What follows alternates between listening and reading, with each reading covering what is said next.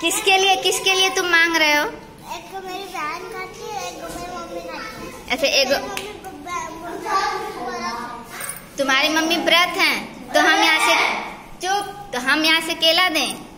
जिसका यहाँ पे नाम लिखाया है उसको केला मिलता है। जिसका नाम नहीं लिखा है उसको केला थोड़े मिलेगा। तुम्हारा नाम लिखा है तुमको केला दे दिए ना?